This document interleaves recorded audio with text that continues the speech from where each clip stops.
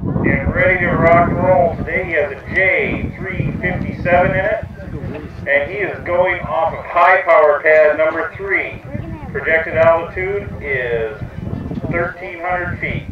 We're going in five, four, three, two, one. Oh my gosh. I like that one. Look at how far that went. Got another one. Why is it always like a substantial charge. The engine's still going. Nice smoke trail all the way down. And there's the main.